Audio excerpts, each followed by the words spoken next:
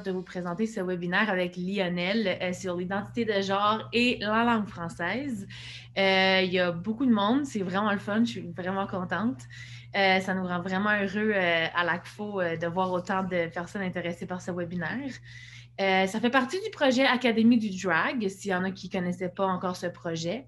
il y a eu plusieurs vidéos, tutoriels qu'on a présentés dans les dernières semaines avec différents euh, drag queen et drag king. Euh, ce webinaire ici est un peu différent. Euh, c'est quand même dans ce projet-là.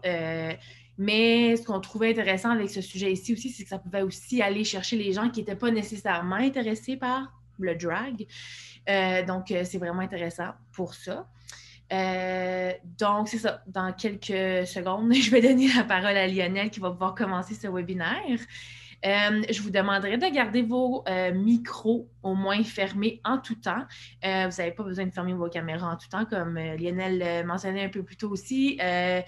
préfère voir vos visages, c'est plus intéressant. mais si vous n'êtes vraiment pas à l'aise, il n'y a pas de problème. juste de, s'il vous plaît, garder vos caméras fermées en tout temps à un moment donné, il va y avoir une période de questions.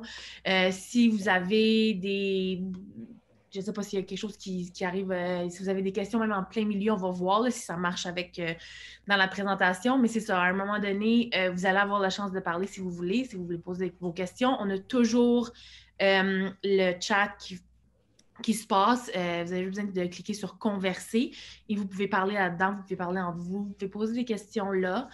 Euh, puis on va essayer d'y répondre euh, le, du mieux possible. Euh, j'aimerais aussi remercier le gouvernement du Canada, en fait, qui fait en sorte que ce projet peut exister également. sans eux, ben, l'Académie du drag n'existerait pas. Donc, merci à eux. Et je pense que c'est tout pour mon petit speech. Donc, je vais passer la parole à Lionel maintenant. Bon webinaire à tous et à toutes. Euh, merci beaucoup à CFO Ottawa de me laisser, euh, de me donner l'occasion de donner ce webinaire. merci à tout le monde qui est là. Mon Dieu, c'est comme super flatteur d'avoir autant de gens. Euh, c'est pas, stressant en tout. Euh, donc, ben, bonjour à tous. Mon nom, c'est Lionel. c'est moi qui vais donner le webinaire. Avant de commencer, si jamais vous avez des questions, il va effectivement y avoir une période de questions à la fin. Euh, si, par contre, euh, pendant le webinaire, à un moment donné, vous êtes perdu, vous ne comprenez pas, vous avez besoin que je clarifie des choses parce que là, je suis rendue trop loin dans whatever, euh, n'hésitez pas à mettre votre question dans le chat. Puis moi, je vais garder un œil sur le chat justement pour m'assurer que si jamais il y a des gens qui sont un peu confus, je, je peux, je peux m'arrêter puis répondre à la question, question que tout le monde soit capable de suivre. J'ai aussi mis dans le chat la bibliographie du webinaire et euh, le PowerPoint du webinaire. Ce qui fait que si jamais, par exemple, plus tard, vous n'avez pas vous avez manqué des informations, vous avez dû quitter de façon impromptue, ben vous avez accès à ça. Ou si jamais vous vous dites euh, d'où ça vient cette information-là, c'est y a-t-il une source ou est-ce que j'invente n'importe quoi, ben la bibliographie est là aussi pour vous donner les ressources pour aller vérifier euh, toutes les informations et voir d'où ça vient tout ça. Euh, je vais le remettre aussi dans le chat à la fin si jamais il y a des gens qui se joignent à nous entre-temps et qui ne peuvent pas euh, y avoir accès. Et vous pouvez en tout temps communiquer avec l'ACFO. L'adresse courriel de l'ACFO va être aussi à la fin de la présentation, mais dans le fond, je pense que c'est info à commercial à moins que je me trompe. vous pouvez leur écrire et si jamais vous avez des questions ou ça ne vous tente pas aujourd'hui de poser vos questions parce que vous êtes trop gêné ou vous êtes, vous êtes euh, vous ne voulez pas euh, vous révéler, c'est vraiment correct. N'hésitez pas à communiquer avec l'ACFO, eux vont communiquer avec moi. Ça va me faire plaisir de répondre à toutes vos questions, même après que le webinaire euh, va être terminé. Ah, voilà, l'ACFO vient de mettre l'adresse courriel dans le chat. donc, voilà, encore une fois, comme Valérie l'a dit, si jamais vous voulez vous laisser vos caméras ouvertes, vous êtes les bienvenus. Moi, j'aime ça voir des faces. Mais euh, encore une fois, il n'y a aucune obligation. Si vous voulez fermer vos caméras, euh, il n'y a euh, aucun stress. Donc, ben voilà. Puis encore une fois, merci beaucoup d'être là. C'est vraiment, c'est vraiment flatteur. OK, donc, ça sera pas long. Je vais partager mon écran. et voilà, parfait.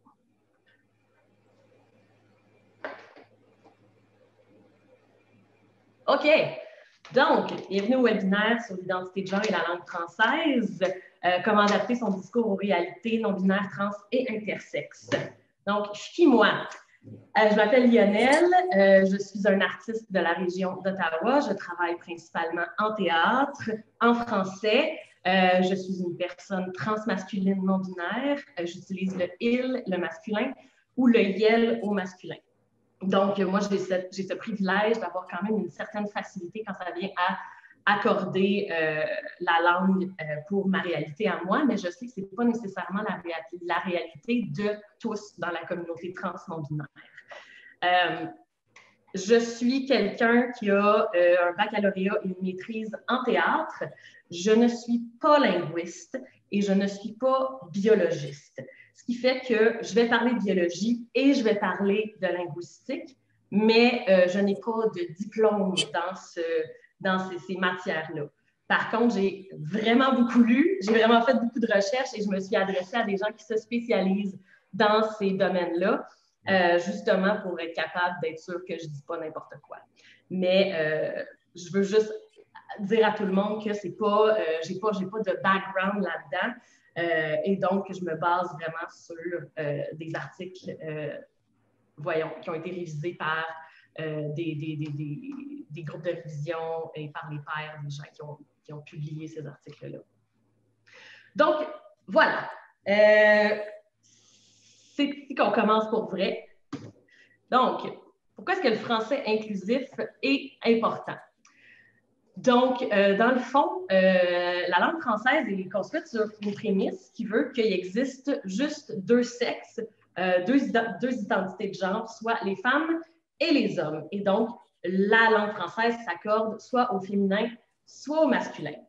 Mais bon, ça fait des années qu'on sait que euh, dans les deux cas, autant sur le plan de l'identité de genre que sur le plan du sexe biologique, c'est beaucoup plus large que deux.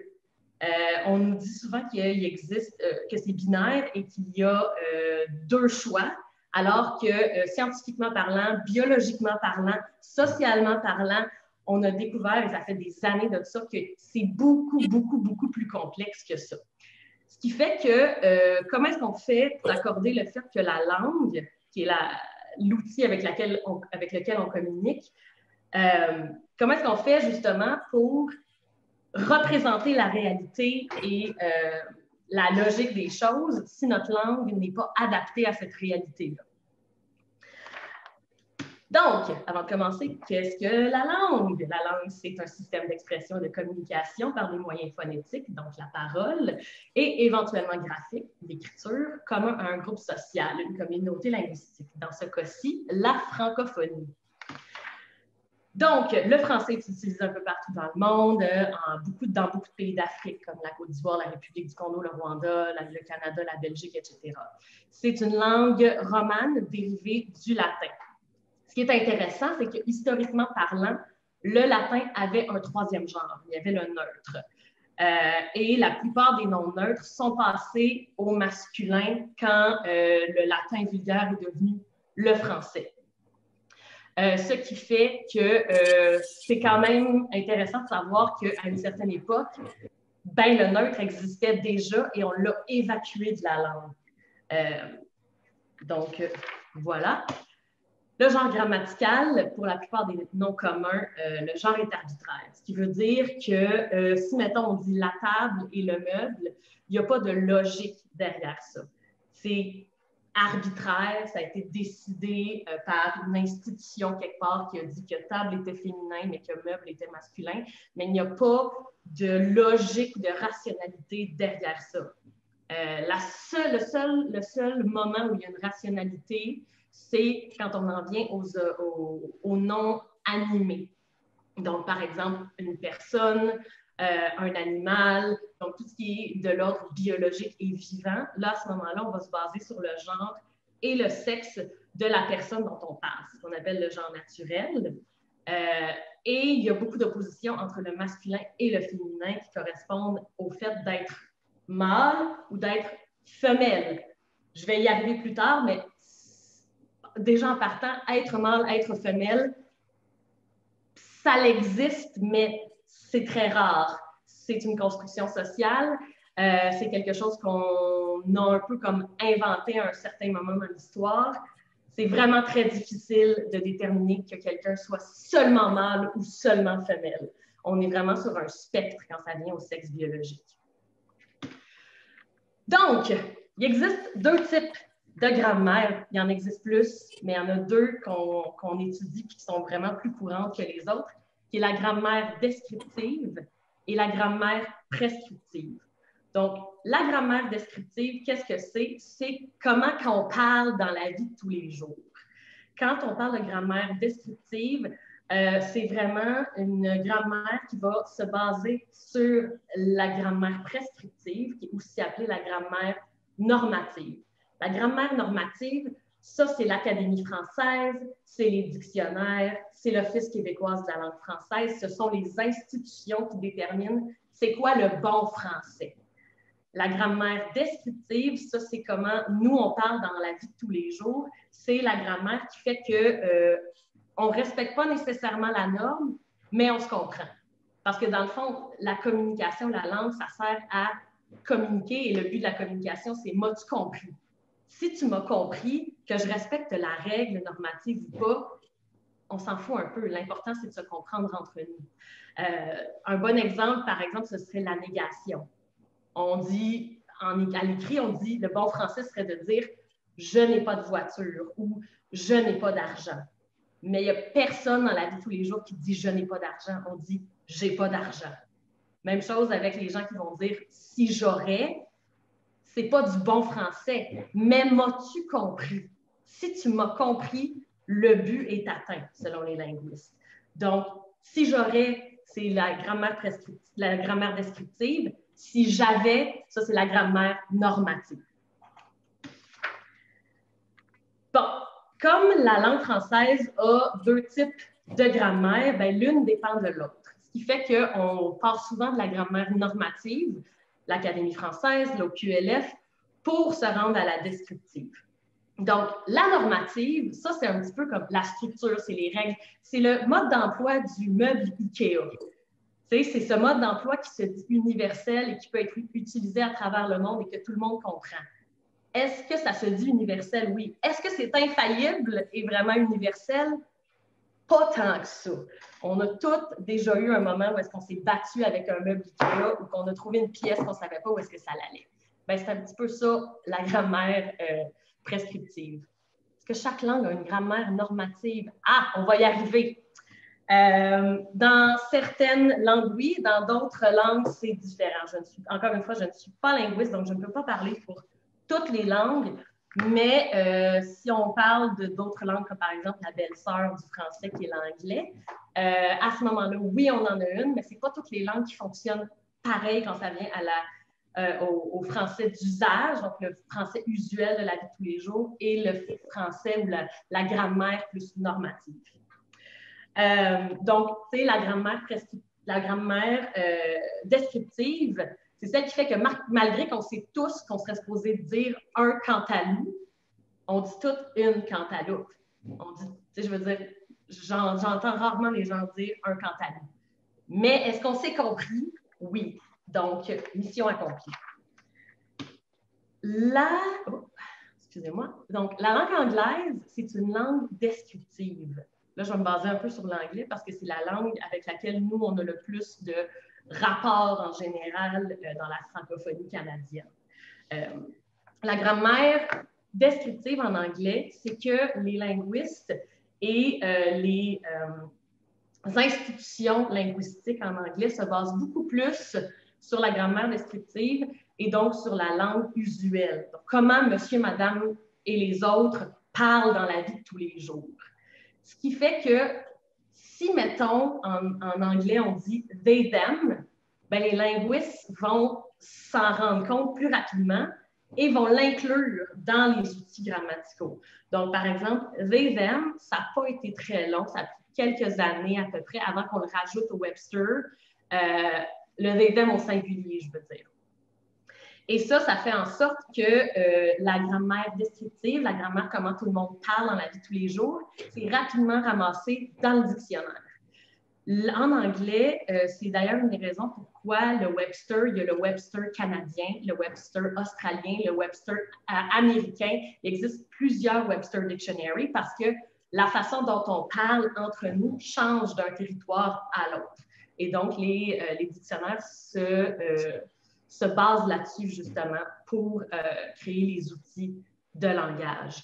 Euh, ça, qu'est-ce que ça a comme impact? Ça fait en sorte que si, mettons, en anglais, on se met à utiliser them au singulier, puis qu'on met ça dans le dictionnaire rapidement après, ben ce dictionnaire-là est acheté par les écoles, par les institutions académiques, par les universités. Et ce dictionnaire-là est utilisé en classe. Et donc, quand on utilise ces outils-là, on doit les expliquer aux étudiants.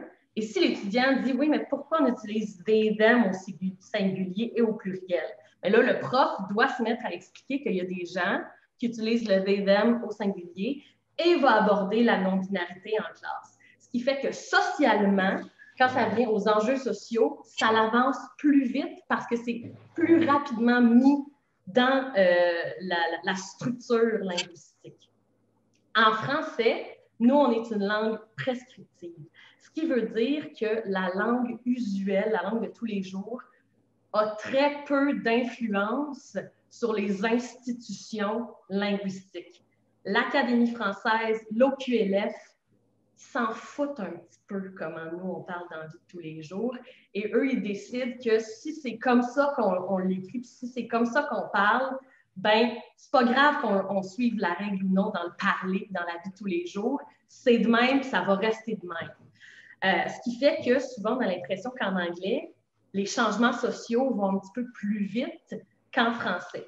C'est parce que justement, la langue anglaise est descriptive et la langue française est prescriptive. Et comme on, a, on vit dans un temps historiquement où est-ce que les changements sociaux, la société n'a jamais changé aussi rapidement qu'elle change maintenant, ben là, on, on voit vraiment la différence quand ça vient au changement social basé sur la langue. Ça va tout le monde? je ne vais pas trop vite. Je ne dis pas trop de niaiseries. Parfait. Donc, la grammaire descriptive, c'est bon, je décris le monde comme je le vois dans la vie de tous les jours et je vois deux types de sexe. C'est devenu une grammaire prescriptive parce que ça arrive des fois que la grammaire descriptive va avoir un impact sur la grammaire normative. On pense par exemple au mot courriel.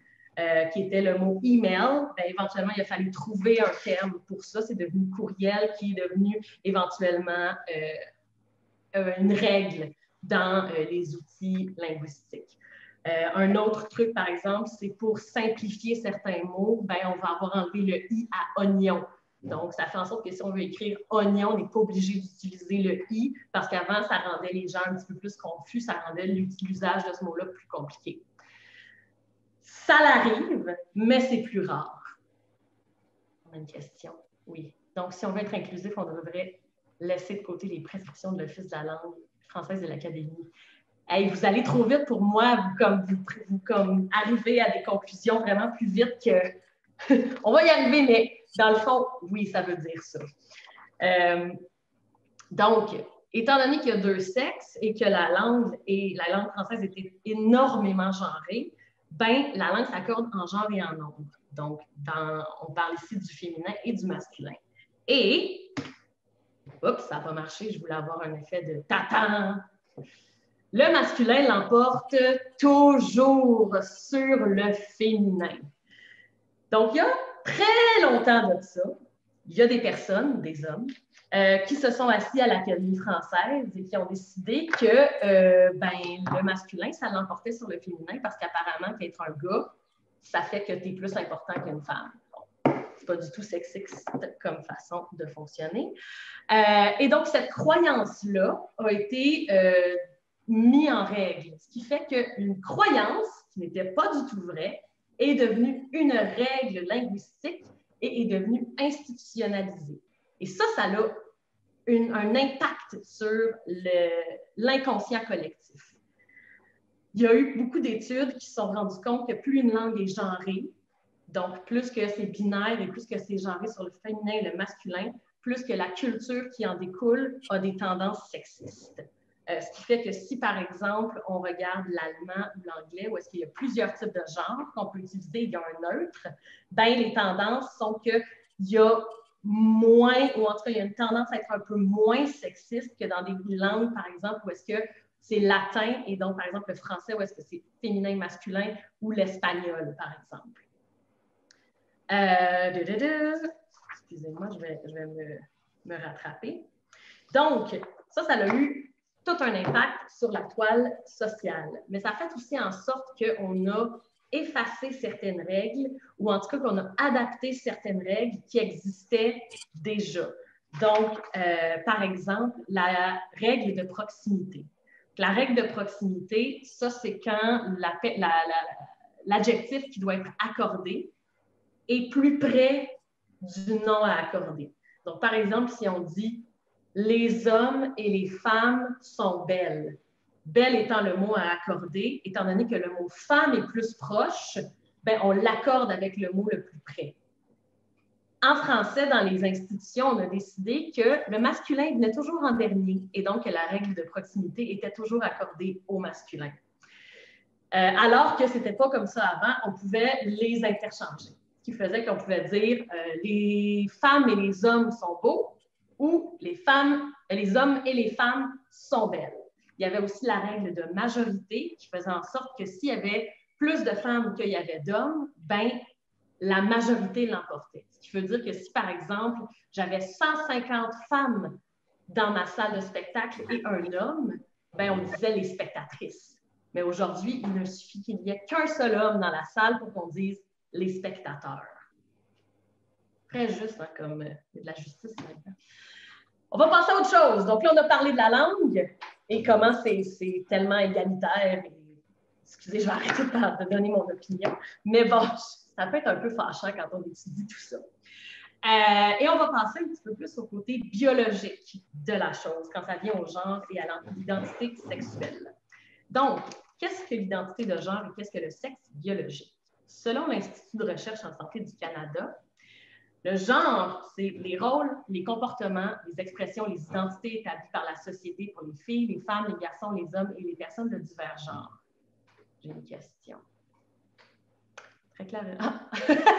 Merci de vouloir mon opinion. Euh, donc, le genre, c'est euh, comment on appelle le nom qu'on se donne ou que nos parents nous donnent, la toilette qu'on utilise, les vêtements qu'on porte.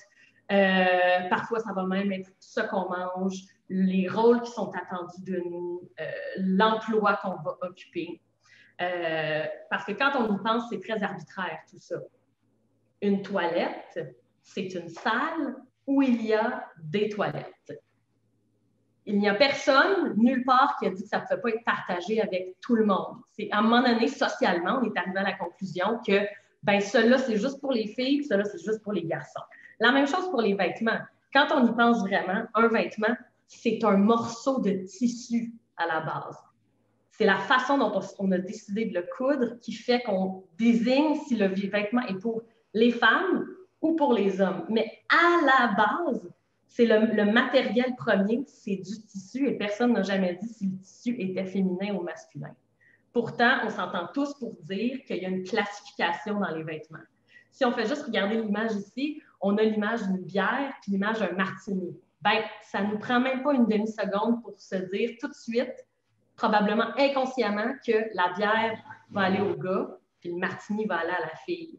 Même chose pour les vêtements, même chose pour, euh, tu sais, je veux dire, combien de fois on a entendu un futur parent dire si c'est une fille, on va l'appeler Luce, puis si c'est un garçon, on va l'appeler Martin.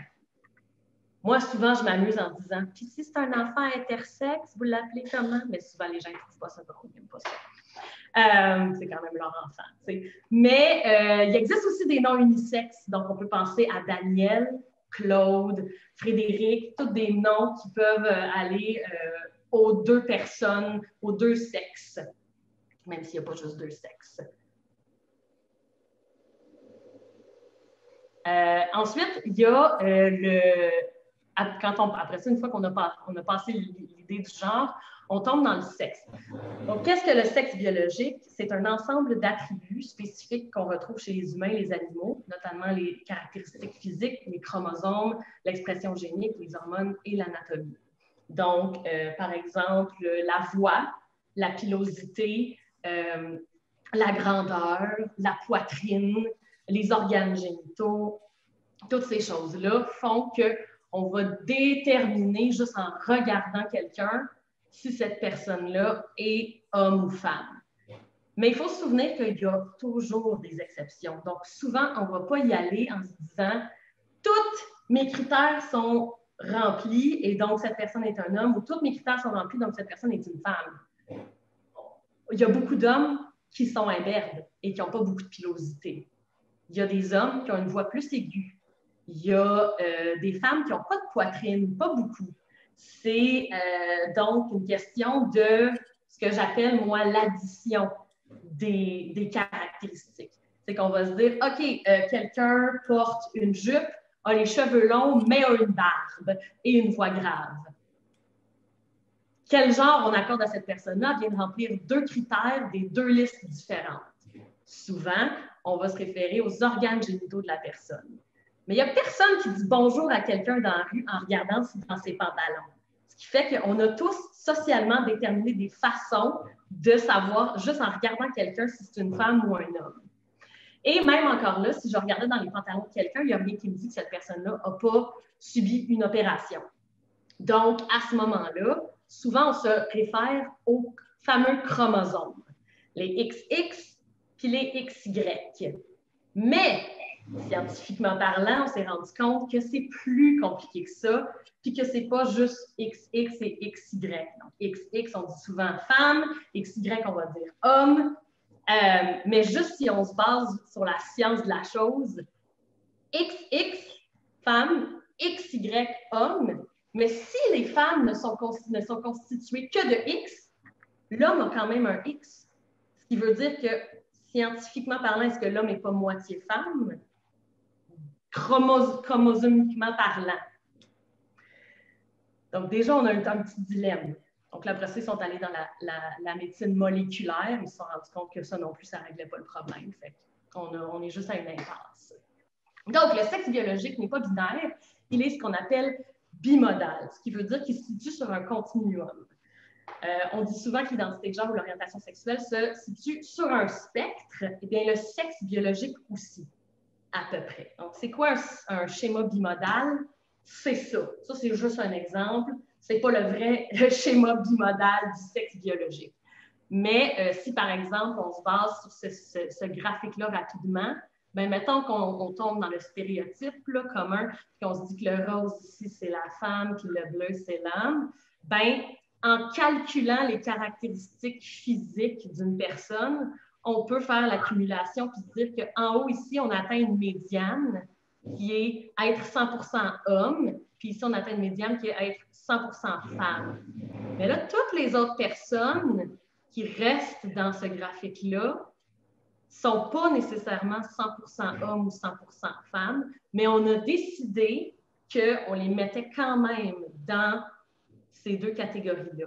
Et il existe aussi tout un entre-deux ici, ou est-ce que là, à ce moment-là, ça devient beaucoup plus difficile de déterminer si la personne va d'un bord ou de l'autre? Et c'est là que ça devient souvent arbitraire et que le médecin le cale, puis dit hum, on va le mettre de ce bord-là, hum, on va le mettre de ce bord-là. Parce qu'il faut se souvenir qu'au Québec, en Ontario, c'est différent, mais au Québec, il existe encore seulement deux marqueurs de genre sur les certificats de naissance. Ce qui fait que, par exemple, je vous parle un peu de mon expérience personnelle. Moi, quand j'ai fait mon changement de euh, marqueur de genre sur euh, mes papiers officiels du Québec, parce que j'habite du bord de Gatineau, j'ai appelé, euh, voyons, l'État civil et j'ai demandé à ce qu'on mette le troisième marqueur de genre sur mes papiers, soit le X. En Ontario, ils ont le X. Au Québec, ils ne l'ont pas. Et on m'a dit, on n'a pas le X. J'ai dit, OK, fait quand un enfant naît intersexe, qu'est-ce que vous faites? L'enfant est intersexe.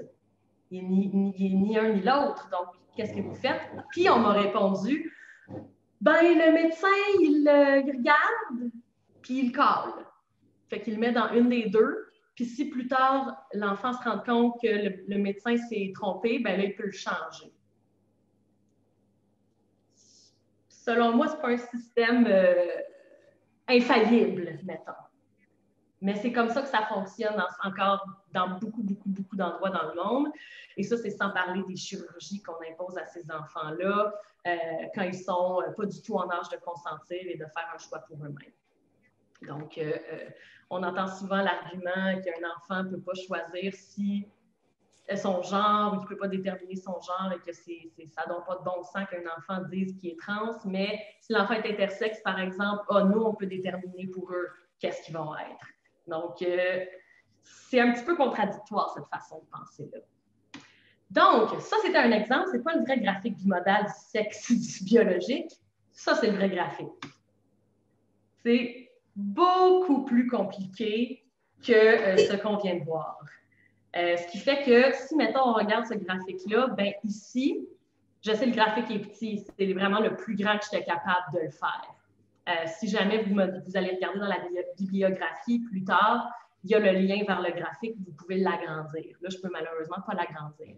Mais comme vous voyez ici, on a typiquement femme biologique et de l'autre côté, on a typiquement homme biologique. Mais entre tout ça, on a une multitude de possibilités de personnes intersexes, qui est comme, il y a ô combien plus de possibilités de ne pas être biologiquement femme ou homme que de l'être. Ce qui veut dire que si on est en fait tous des gens qui sont un peu des hybrides, il y a très, très peu de personnes qui sont que biologiquement femme ou que biologiquement homme. C'est sur un continuum, c'est un spectre. il faut aussi savoir que dans le temps, ça change. Donc, par exemple, on passe de euh, la naissance à la puberté? Ben, le sexe biologique de quelqu'un à la naissance sera pas le même qu'à la puberté, puis sera pas le même qu'à la ménopause, par exemple. Ce qui veut dire que même sur, quand ça vient à la temporalité de la chose, le sexe biologique de quelqu'un n'est pas ancré, n'est pas rigide, il fluctue. Donc, euh, déjà, scientifiquement parlant, en se basant sur le consensus scientifique, c'est pas, c'est vraiment pas binaire, le sexe. Donc, selon Scientific American, là, je l'ai mis en anglais. C'est euh, une longue citation. Je euh, vous offre une traduction libre, ça ne sera pas long. Le sexe est semblé être est censé être simple, donc du moins au niveau moléculaire. Les explications biologiques qui apparaissent dans les manuels s'élèvent à X plus X égale femme, X plus, Y égale homme, Vénus ou Mars, rose ou bleu. Cependant, à mesure que la science regarde de plus près, il devient de plus en plus clair qu'une paire de chromosomes ne suffit pas toujours à distinguer fille-garçon, que ce soit du point de vue du sexe, donc les traits biologiques, ou du genre, l'identité sociale. Dans le domaine culturel, ce changement de perspective a déjà reçu une large adhésion les définitions non binaires du genre, transféminine, genderqueer, hijra, sont entrées dans la langue vernaculaire. Les changements en cours dans les sciences biologiques sont peut-être moins visibles. L'image émergente qui dénote, qui dénote girlness ou boyness révèle l'implication de réseaux de gènes complexes et l'ensemble du processus semble s'étendre bien au-delà d'un moment spécifique de six semaines après la gestation, lorsque les gamètes commencent à se former. Donc, après six semaines, le médecin va faire des X-rays, qui va pouvoir dire aux futurs parents Ah, ça va être une fille ou Ah, ça va être un garçon. Mais c'est beaucoup plus complexe que ça. Euh, à des degrés divers, beaucoup d'entre nous sommes des hybrides biologiques sur un continuum mâle-femelle. Les chercheurs ont découvert des cellules XY chez une femme de 94 ans et des chirurgiens ont découvert un utérus chez un homme de 70 ans, père de quatre enfants. De nouvelles preuves suggèrent que le cerveau est constitué d'une mosaïque de type cellulaire, certains plus yin, d'autres plus loin sur l'échelle du yang. On a découvert aussi, euh, il y a quelques années, une femme qui était allée chez le médecin pour un... Elle était enceinte et elle avait 46 ans et donc, bon, euh, il y avait certes, une grossesse un peu à risque, donc elle est allée chez le médecin. Ils ont fait beaucoup, beaucoup de, de tests euh, très, très excusez, extensif, je me souviens plus du terme en français, approfondi. Et ils se sont rendus compte, en faisant des tests approfondis sur les chromosomes, parce que bon, c'est l'ADN pour déterminer si l'enfant va avoir des problèmes cognitifs, etc., etc. Ils ont dû aller faire l'étude des chromosomes de euh, la mère et se sont rendus compte que la mère avait deux sets de chromosomes, soit un XX et un XY. Et en faisant des recherches plus avancées, ils se sont rendus compte que lorsque euh, cette personne-là était dans le ventre de sa mère, il y avait deux bébés, deux jumeaux, mais deux jumeaux non identiques, un XY et un XX. Et pendant la gestation, quand c'était encore des embryons, ces deux bébés-là ont comme fondu l'un dans l'autre. Ce qui fait que la personne qui est née a les deux ensembles de chromosomes. Donc, qu'est-ce qui est vrai? Est-ce qu'on se base sur les organes génitaux ou sur les chromosomes ou sur autre chose? Parce que cette personne-là a un, a un Y dans ses chromosomes, mais a porté des enfants et a un utérus. Donc, à ce moment-là, c'est vraiment plus complexe qu'on le croit. Ce qui fait que, selon le consensus scientifique, c'est très rare qu'une personne soit uniquement femme ou uniquement homme. Le sexe biologique se situant sur un continuum, on a tous en nous des constituants du mâle et femelle. Donc, le sexe biologique tel qu'on le conçoit euh, et dans la culture populaire est une construction sociale. La façon dont la société est structurée en se basant juste sur le sexe et le genre, c'est donc de la pure fiction on a décidé qu'on allait inventer une structure et une façon de classer les gens qui est basée sur la science sociale et non pas la science biologique. Donc, est-ce qu'une construction sociale fait que ça veut dire que c'est pas vrai? Non. Une construction sociale, ça ne veut pas dire que c'est pas vrai, mais ça veut dire que ce n'est pas naturel, ce n'est pas quelque chose qui vient de la nature. Construction, si on y pense, les lois, la justice, aussi est une construction sociale, mais personne ne va dire que la justice, c'est pas important. Au contraire, c'est comme ça qu'une société fonctionne et c'est important d'avoir des, des, façons de fonctionner où est-ce que tout le monde peut se respecter entre nous. C'est The Purge, euh, personne ne veut ça, je pense.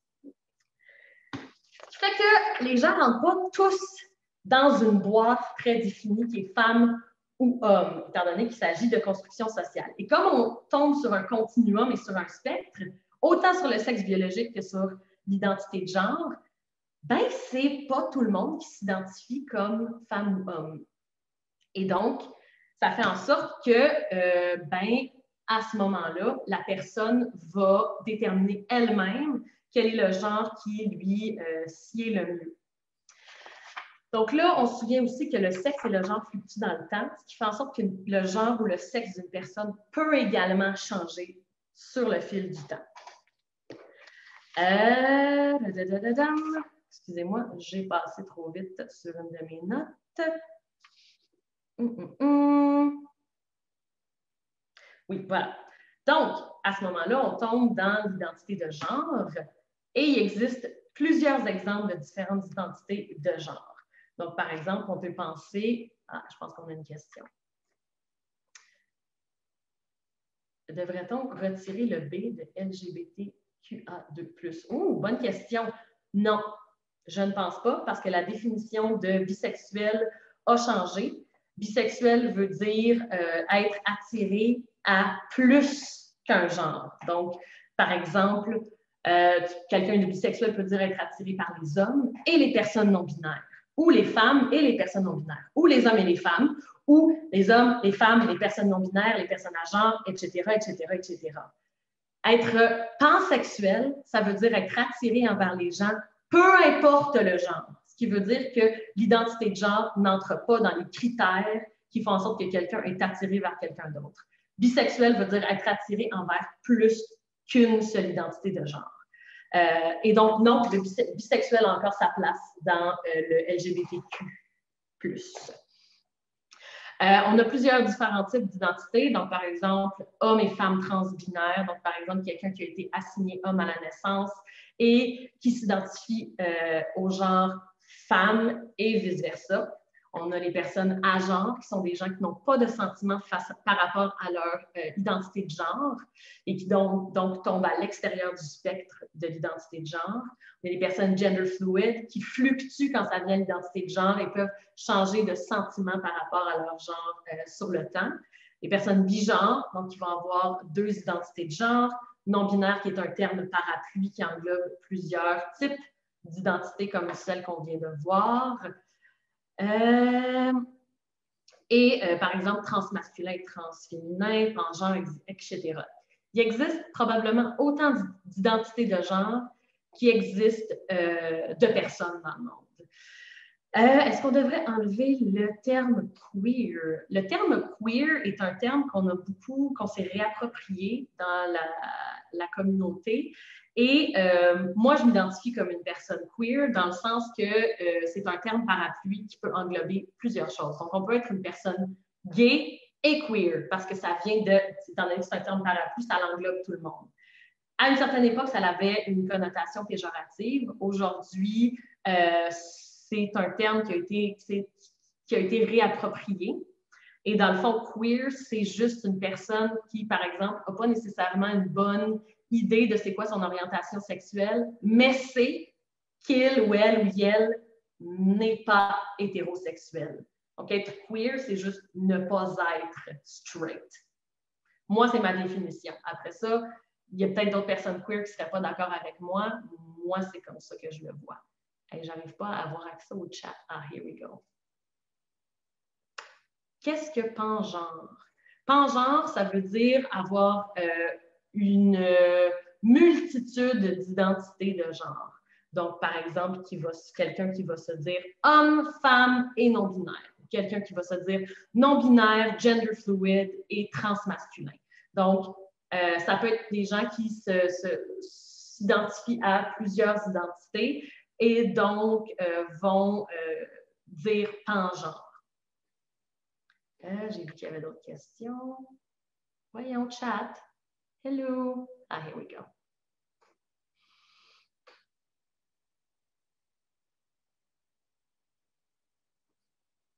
Hmm, il y a quelqu'un qui a dit euh, être queer, c'est aussi ne pas être cisgenre. Cisgenre, pour ceux qui ne le savent pas, c'est les gens qui s'identifient au genre qui leur a été assigné à la naissance. Donc, ça, c'est les fois où est-ce que le, le médecin ne s'est pas trompé. Donc, si le médecin dit Ah, voici une fille, et plus tard la personne dit oui, je suis une fille, cette personne est cisgenre. Euh, queer veut dire aussi ne pas être cisgenre. Euh, oui, à ce moment-là, moi, j'ai tendance à utiliser le terme gender queer parce que là, on vient rajouter le, mot gender avant. Euh, mais encore une fois, le terme est en train de fluctuer. C'est pas la première fois que j'entends quelqu'un dire être queer, ça veut dire ne pas être straight et ne pas être cis.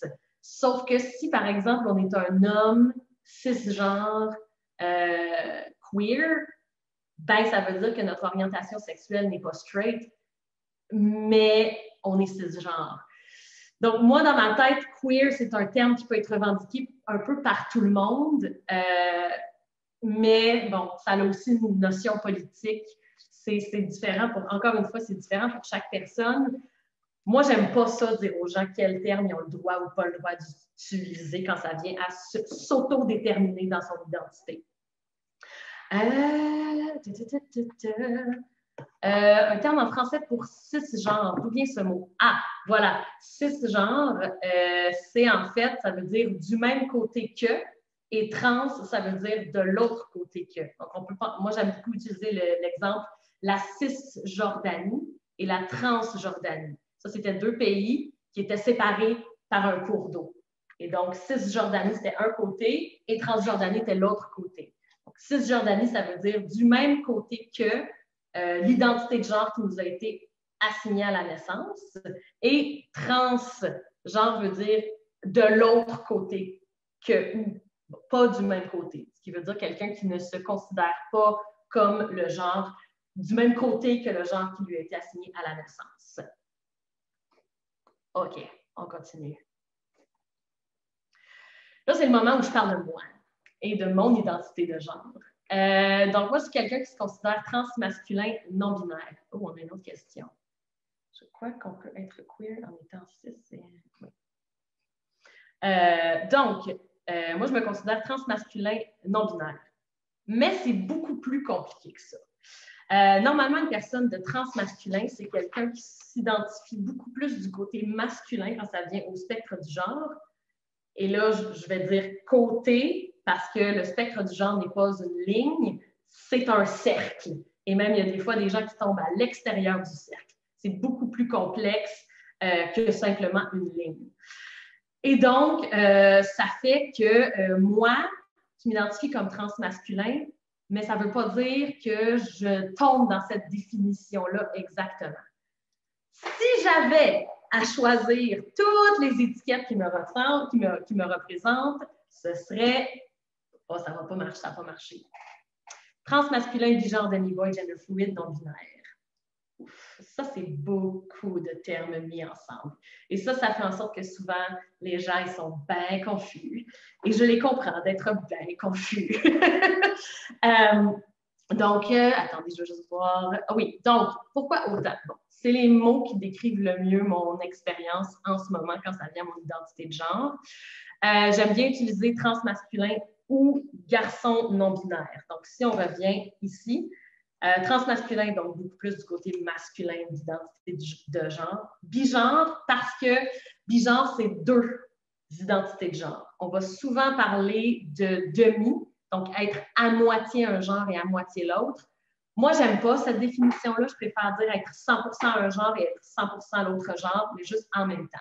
J'aime bien euh, donner un exemple. Euh, quand Obama était au pouvoir, personne s'obstinait pour dire que le président était noir. Mais le président américain avait un parent blanc et avait un parent noir. Mais tout le monde disait qu'il était noir et même Obama le disait lui-même. Donc, personne aurait, se serait obstiné pour dire non, Obama n'est pas noir, il est moitié noir. Non, il est noir et il est blanc et ces deux identités sont là à 100% Elles sont juste là, elles cohabitent. Là, pourquoi moi j'aime bien utiliser bigenre, parce que oui, je suis un garçon, je suis aussi non-binaire, mais je suis 100% un garçon et je suis 100% non-binaire. Demi Boy, je ne l'utilise plus vraiment tant que ça. Ça, c'était vraiment à l'époque où est-ce que j'étais comme non, mais je suis un garçon, mais comme je suis pas juste un garçon, fait que je disais à moitié, mais là, je me considère plus à moitié. Donc, dans le fond, j'aurais pu l'enlever. Gender fluid aussi, je l'utilise des fois, mais pas tout le temps, dans le sens que des fois, ça fluctue. Euh, sur le spectre du genre, où est-ce que, par exemple, il y a des journées où je me sens comme 100% garçon, puis d'autres journées où je me sens peut-être un peu moins, ou un petit peu plus du côté à genre, ou même un peu féminin de l'identité de genre. Non-binaire, je l'utilise juste parce que ça l'englobe tout. C'est un mot parapluie. Fait que dans le fond, non-binaire, c'est juste tellement plus simple. Garçon non-binaire, bam, bam. La majorité des gens dans mon entourage, si je dis ça, vont vraiment mieux comprendre mais il existe plein d'étiquettes et toutes ces étiquettes-là sont valides et peuvent être utilisées. Et si quelqu'un un jour vous arrive avec une liste aussi longue, ben, cette personne-là est valide, a le droit d'utiliser tous ces termes et on tombe un peu dans l'intersectionnalité de la chose. Quelqu'un peut être gay, transgenre, blanc, neurodivergent et toutes ces choses en même temps. Ça, fait en sorte que et toutes ces identités sont valides. Il y en a beaucoup, mais elles sont toutes là et elles cohabitent. Oh, j'ai beaucoup de questions là. Hum, hum, hum,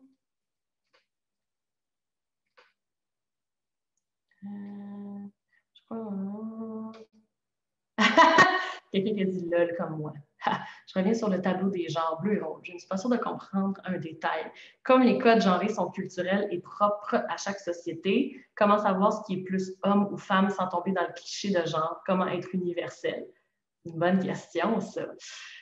Euh, oh, quelqu'un qui a demandé neurodivergent. Donc, il existe neurodivergent et neurotypique. Quelqu'un de neurotypique, ça veut dire que euh, quand ça vient à la chimie de son cerveau, les neurotransmetteurs fonctionnent normalement. Quand quelqu'un est neurodivergent, ça veut dire que les neurotransmetteurs du cerveau euh, ne fonctionnent pas selon la norme scientifique et médicale. Euh, donc, par exemple, quelqu'un qui a un TDAH est neurodivergent, quelqu'un qui est sur le spectre de l'autisme est neurodivergent. Ah, il y a quelqu'un qui a répondu à une autre question qui si on demande la personne, la personne peut répondre et donner sa propre définition. Et voilà comment ça évite les clichés. Tu m'enlèves les mots de la bouche, effectivement, la meilleure façon de savoir si quelqu'un est un homme ou une femme, c'est vraiment de demander à la personne. Ou, j'ai dit ni un homme ou une femme, mais ou une autre identité de genre. Vraiment, la meilleure façon, au lieu d'assumer, c'est de juste demander. Et plus qu'on demande aux gens, plus que ça devient normal de le demander entre nous et moins c'est malaisant. Euh, oui, il y a quelqu'un qui a dit que ce n'est pas juste les neurotransmetteurs, c'est les connexions aussi qui peuvent diverger. Tout à fait, vous avez raison. Ma, ma, description neurodivergente n'était peut-être pas assez détaillée. Euh, moi, je suis quelqu'un de neurodivergent, donc d'habitude, c'est la, définition que je donne juste parce que c'est simple et ça va vite. Euh, mais effectivement, ça peut être aussi euh, les, connexions entre neurotransmetteurs qui fonctionnent différemment que euh, les neurotransmetteurs des personnes neurotypiques. J'aime pas ça dire qu'ils ne fonctionnent pas correctement parce que c'est comme s'il y avait une norme, qu'il y avait une bonne façon de dire que les neurotransmetteurs fonctionnent. Donc, je préfère dire qu'ils fonctionnent différemment de la majorité. on peut être zèbre, HP et neurodivergent. Ça, je ne connais pas ce terme, zèbre, HP. Bonne, euh, si vous pouvez mettre euh, peut-être une, explication plus détaillée du twice, etc. C'est bon, quelqu'un qui m'a dit qu'on allait s'en reparler parce que je, donne une mauvaise définition de neurodivergent. Donc, peut-être écoutez pas ma définition de neurodivergent. Euh, dans le fond, c'est juste quelqu'un qui n'est pas neurotypique. Mais bon, on n'est pas, je, ne suis pas spécialiste en neurodivergence. J'ai donné un exemple, puis là, je me suis, peut-être mis le pied dans la bouche, puis j'ai ouvert une boîte de Pandore. Je m'en excuse, tout le monde. Donc, on revient au sujet du début qui est la langue. Et la langue sert à communiquer et à décrire son environnement. Mais là, on vient de, comprendre que euh, l'environnement et euh, la communication se basent sur deux identités de genre. Et ces deux identités de genre-là ne, représentent pas la réalité. Et donc, euh, la langue se base en fait sur un mythe qui ne représente pas la vraie vie. Et donc, comment est-ce qu'on fait pour euh, aligner ces deux choses-là quand une langue ne décrit pas en fait l'environnement correctement? qu'est-ce qu'on fait? On utilise la grammaire descriptive, qui est la façon dont on parle dans la vie de tous les jours. Euh, et donc, parfois, comme je l'ai dit plus tôt, la grammaire descriptive peut avoir un impact sur la grammaire prescriptive, euh, aussi dite normative, et la façon dont on l'enseigne. Donc, si par exemple des termes deviennent monnaie courante et deviennent usuels, ça peut parfois avoir une incidence sur les institutions linguistiques. Ça arrive des fois que l'Académie française ou que l'Office québécois de la langue française écoute et fasse OK, peut-être que si tout le monde l'utilise, il va falloir qu'on s'adapte un peu. Ça arrive. C'est le fun quand ça arrive. Euh, mais ça n'arrive pas tout le temps dans le fond, ça se peut, ça se peut que ça l'arrive. Si ça l'arrive, yay! Mais ça se peut que ça prenne énormément de temps. Et c'est pour ça que plus qu'on s'y met tout de suite, plus que ça va arriver rapidement, si ça l'arrive. Donc, quel, genre de tactique est-ce qu'on peut utiliser pour rendre le français plus inclusif? La rédaction épicène. Donc, la rédaction épicène, c'est euh, un mot qui désigne qui qualifie un être animé qui a la même forme au genre masculin et au genre féminin. Donc, c'est aussi euh, ce qu'on appelle la rédaction égalitaire. Donc, euh, euh, ça peut être, ça se manifeste à la fois par l'emploi de mots qui désignent aussi bien les femmes et les hommes. Par exemple, on, va, on va dire la population. La population est au féminin, mais englobe plusieurs éléments qu'on ne sait pas s'ils sont masculins ou féminins ou les deux. Donc, ça, c'est par exemple un exemple de, terme épicène, épicène. Le mot artiste aussi est un terme épicène. Donc, si on dit l'artiste, c'est impossible de savoir si l'artiste est une femme, un homme ou un autre type euh, de genre. Euh, là, à ce moment-là, c'est plus compliqué quand on vient à dire un ou une artiste. Donc, euh, on peut utiliser aussi à ce moment-là une graphie tronquée. Mais ça, on va y arriver. Là, attention, avertissement de contenu. J'ai été chercher des graphiques sur le site de l'Office québécois de la langue française. Ça va avoir l'air bien, bien, bien touffu comme graphique. C'est juste des exemples, comme pas de panique. J'ai fait, un, fait un, run, un test run hier avec des gens, puis quand je suis arrivée à ce moment-là, ils ont fait comme Wow! Fait que je voulais juste vous avertir.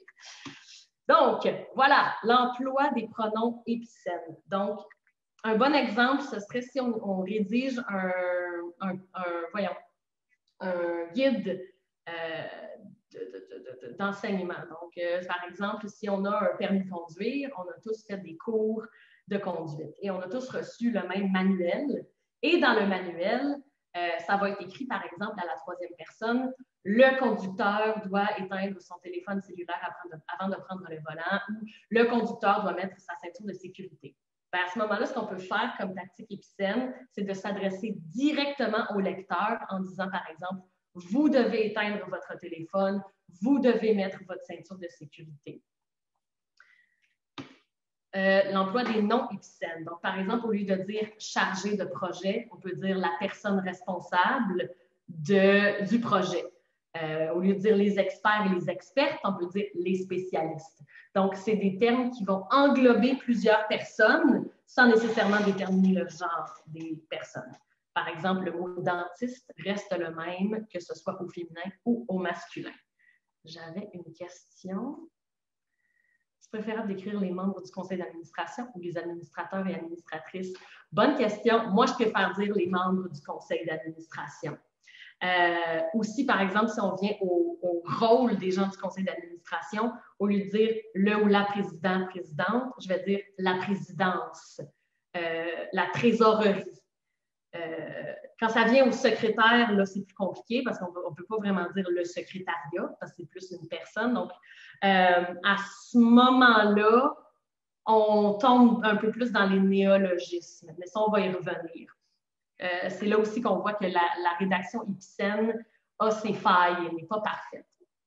Donc, mais si on est capable de rendre ça épicène, yeah! Mais oui, quand ça vient, par exemple, à un conseil d'administration, la présidence, la vice-présidence, la trésorerie, les, les, membres de l'administration, euh, ce genre de, ce genre de, de, tactique-là. Je vais juste prendre une gorgée d'eau.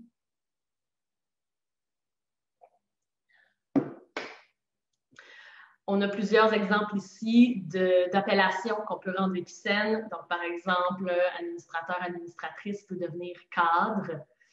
Euh, on a dit tantôt artiste et, au lieu de comédien, comédienne, on peut dire artiste. Euh, peintre aussi. Euh, et épicène. Il y a aussi, par exemple, moi j'ai été sauveteur quand j'étais plus jeune, donc sauveteur, sauveteuse peut devenir équipe de sauvetage ou secouriste. Les noms collectifs, par exemple, tous les employés, toutes les employés peuvent devenir les membres du personnel ou le personnel. les électeurs, électrices peut devenir l'électorat.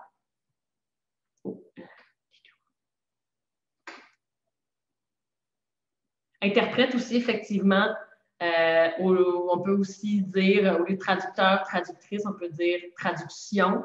Euh, donc, par exemple, euh, spécialiste en traduction ou, voyons, personne avec une formation en traduction, ce genre de, de, de façon de... Oups, j'en ai manqué une autre, pardon.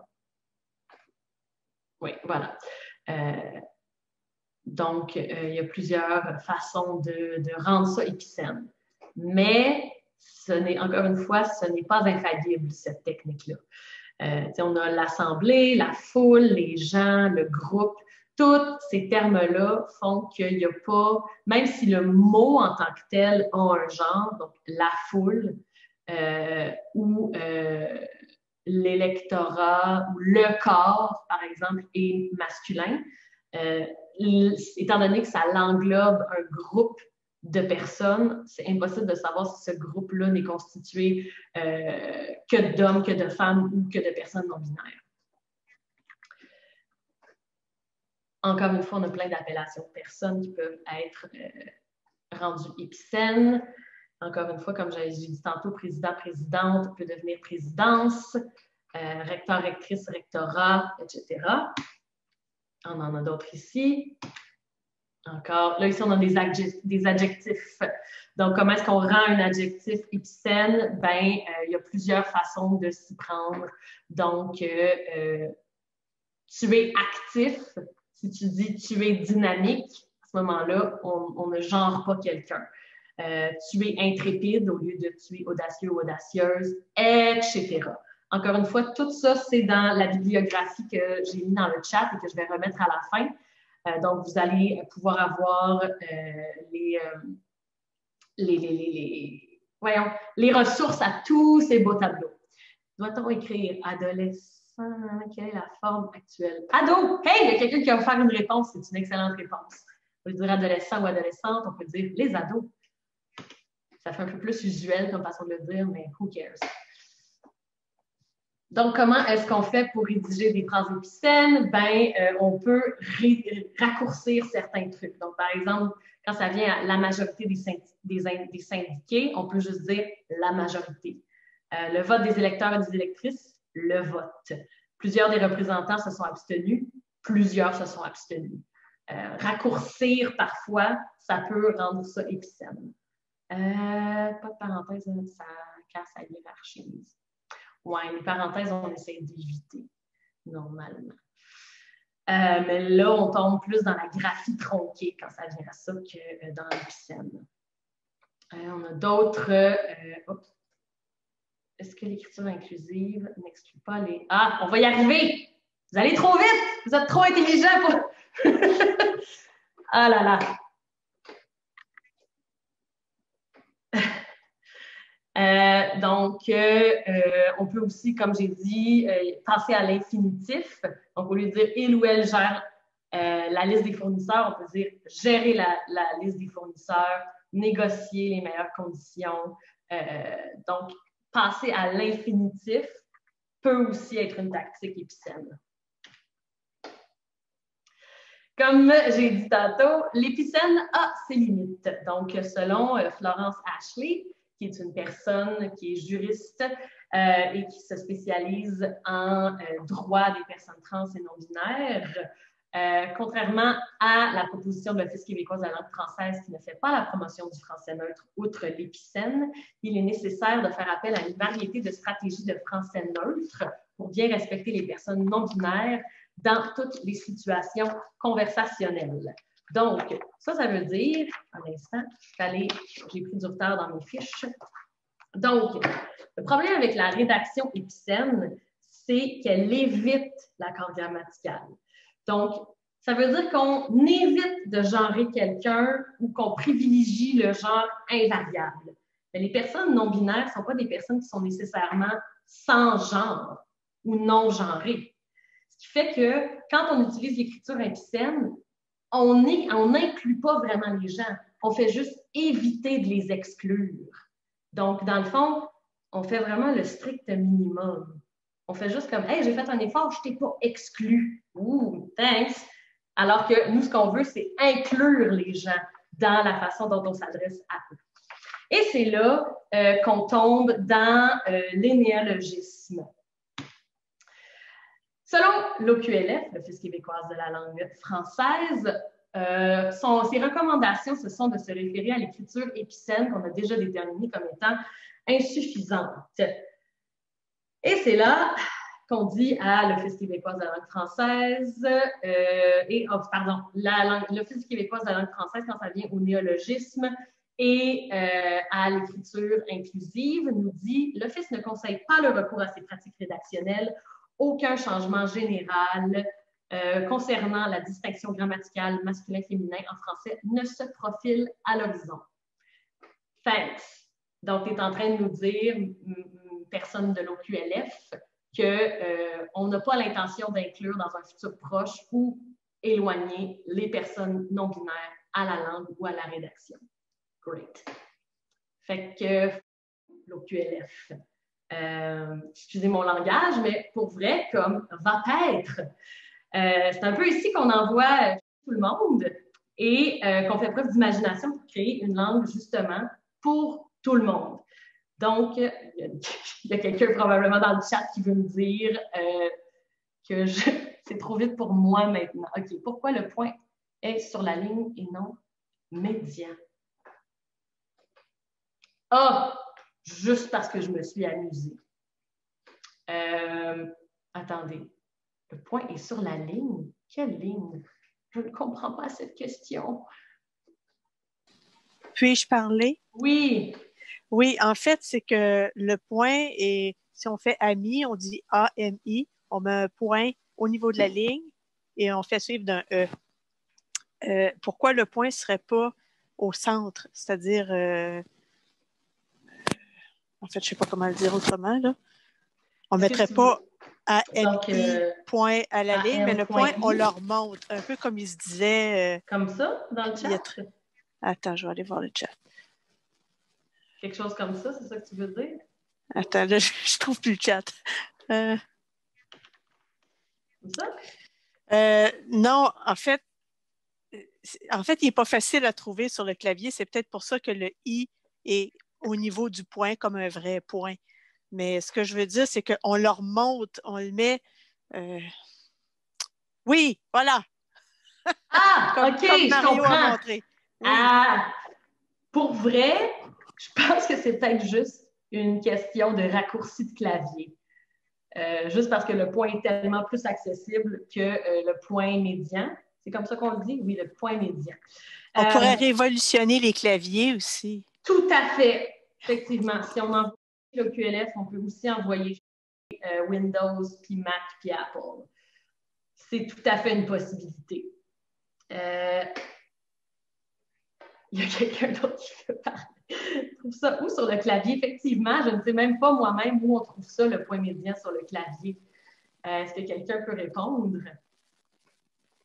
Puis en plus, bon, tous les claviers sont différents, mais la majorité des claviers ont un point, en tout cas.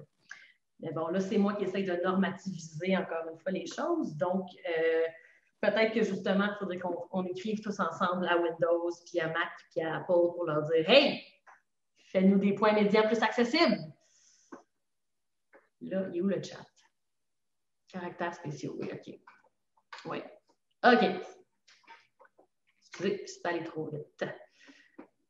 Donc, c'est à ce moment-ci que, euh, bon, comment est-ce qu'on fait pour euh, pratiquement parler de non-binarité en français? Ben, la réponse, c'est qu'il n'y a pas de réponse, vraiment. Euh, on est encore à un point où est-ce que tout est à faire, mais c'est aussi la beauté de la chose on peut aussi voir ça d'une façon positive, puis se dire que ben, si tout est à faire, ben, il n'y en a pas vraiment de mauvaise réponse. Puis, comment ça fonctionne souvent la grammaire normative? C'est qu'éventuellement, à force d'utiliser un français inclusif dans la langue usuelle, on arrive à un consensus de façon inconsciente. Parce que, encore une fois, le but de la langue, c'est de communiquer et de se comprendre tous ensemble. Donc, si éventuellement j'utilise un français inclusif et que la personne à qui je parle comprend rien, ben à ce moment-là, peut-être changer de tactique va être une meilleure façon. Et bon, au fil du temps, avec des essais-erreurs, ça peut devenir, euh, il peut y avoir une norme qui se crée par elle-même. Euh, entre le point normal et le point médian, pourquoi l'un est meilleur que l'autre? Juste qu'est-ce qu'on dit? C'est ça. L'affaire avec le point, y a-t-il des féministes dans la salle? Moi, euh, le point médian, ouais, c'est ça, c'est qui est moins accessible, par exemple, pour les personnes qui utilisent des, logiciels de lecture. Donc, par exemple, pour les personnes euh, qui ont une vision réduite ou euh, qui sont aveugles, euh, il y a des logiciels qui existent parce qu'ils vont passer la souris sur le texte et, l'ordinateur va comme lire le texte. Mais le point médian, de ce que je comprends, c'est pas autant accessible pour ce type de logiciel-là. Ce qui fait que j'imagine euh, que le point est peut-être une meilleure tactique dans ce cas-là. Hmm, avec le point final. OK, le point médian évite le point final. Donc, par exemple, on évite de porter à confusion puis de faire penser que c'est la fin de la phrase ou la fin de la communication. Euh, encore une fois, comme j'ai dit, tout est à faire, fait qu'il n'y a pas encore de consensus vraiment, ce qui fait que justement, tu sais, Là, il y a des débats qui peuvent partir à savoir lequel des deux on préfère. Est-ce qu'il y a une des, un des deux qui est meilleur que l'autre? Lequel est le, est le meilleur? Est-ce qu'on peut arriver à une norme est une entente? Encore une fois, y a-t-il une réponse à cette question? Peut-être un jour, mais pour l'instant, s'il y en a une, je ne la connais pas. Moi, je suis plus du genre à m'amuser avec euh, la langue et à inventer plein d'affaires. si tu me comprends, great. Si tu ne m'as pas compris, ah, on, va, on change de tactique. Ici, on tombe dans les pronoms. Un point slash tiré parenthèse, c'est à la discrétion des personnes. Oui, souvent, en fait, la meilleure façon de savoir si on utilise un bon français inclusif, c'est vraiment de demander à la personne euh, à qui on parle, qu'est-ce qu'elle préfère. How do I write good morning friends in an inclusive manner in French? Bon matin, les amis. Euh, parce que les amis, non, non, j'avoue, si je l'écris, hein, bonne question. Moi, j'écrirais les amis.e.s. C'est comme ça que j'utiliserais avec une graphie tronquée. Euh, après ça, à l'oral, on n'entend pas le E de ami. Donc, à l'oral, quand on se parle, bon matin les amis n'est pas genré en tant que tel. C'est une fois qu'on l'écrit que là, euh, ça peut devenir genré. Donc, là, ici, on a plusieurs exemples de pronoms non. Par exemple, un qui est très, très populaire en ce moment, c'est le yel, qui est souvent utilisé pour l'équivalent du they, Oui, ul aussi existe comme pronom non binaire. I, elle, ol, al, eux, etc. Non, ce n'est pas un pronom, quoique. Euh, il y en existe beaucoup, beaucoup, beaucoup. Et si quelqu'un vous dit voici mon pronom, euh, la seule chose à faire, c'est de respecter ce pronom et de demander à la personne comment elle l'accorde. Et c'est tout. Euh, quand le Facebook de la Fédération des aînés des retraités francophones de l'Ontario s'adresse à des milliers de personnes, on décide d'écrire comment? Je ne comprends pas cette question. Aînés et des retraités francophones de l'Ontario. Ici, oui. je vous. C'est juste. Des fois, quand on écrit euh, dans le chat, vous venez de dire des affaires il y a deux minutes, mais c'est parce qu'on dit, ah! on, peut dire, on, décide quoi, là, quand on a, euh, on, s'adresse à des milliers de personnes, on met un point, un slash, un machin, un, un, yel, un al, un e, à un moment donné, c'est un peu, euh, il y a comme une grande confusion. C'est juste ça que je voulais, que, mm-hmm. je voulais dire. On peut Moi, j'aime euh, j'aime bien dire des personnes d'un âge respectable. Mais c'est pas, pas juste ça. C'est juste une question parce que là, on est en train de, de, de, dire plein de choses sur euh, plein de possibilités d'écrire. Oh! Alors, on. Je sais plus. Ben, c'est ça, encore une fois, euh, c'est la beauté et un peu le malheur de la situation qu'il n'y a pas encore de normes, il n'y a pas encore de règles, mais ça fait aussi en sorte qu'il euh, y a plein de façons d'écrire ou de parler et éventuellement, on va en revenir à une norme. Donc, par exemple, dans plusieurs milieux non-binaires en français, on est déjà un peu arrivé à un certain consensus que quand on s'adresse à un groupe, on va dire yel au pluriel. Quand on dit tous, toutes, on va dire tous. Euh, donc, il y, a, plusieurs façons euh, de s'adresser aux gens euh, de façon inclusive qui ont comme déjà un peu commencé à s'installer, mais qui sont pas qui font pas partie de la norme. Mais dans les milieux trans et non binaires, ça commence déjà, commence déjà à s'installer un certain consensus. Euh, ah, yeah! Il faut compter environ 100 ans pour qu'une pratique descriptive passe en, mode prescriptif en français. Merci à, la personne qui vient d'écrire ça. fait qu'on on, commence tout de suite, guys, OK? Les gens, on commence maintenant. Euh, Mario dit mon préféré, c'est Seuse. Moi, j'aime bien Seuleux aussi. Donc, pour ceux et celles, Seuleux. Euh, euh, donc, par exemple, les personnes aînées et retraitées francophones, à ce moment-là, à l'écrit, j'utiliserais une graphie tronquée. Donc, je mettrais un point E.S et point E.S à aînés et retraités. À l'oral, on n'entend pas l'accord, ce qui fait que des aînés et des retraités francophones n'est pas genré. Donc, si on le dit, on est golden. Mais si on l'écrit, là, à ce moment-là, il faut avoir recours à des, des tactiques euh, néologiques. Icelle, euh, oui, il y a plein de pronoms. Ça, c'est comme une des beautés de la langue inclusive. C'est que comme il n'y a pas de mauvaise réponse vraiment, ce qui fait que tout est possible. Puis, dans le fond, en tant que personne euh, alliée, votre seul job, c'est de respecter ça puis de l'utiliser. Puis, t'accordes ça comment, Yel? Bon, on demande, dans le fond.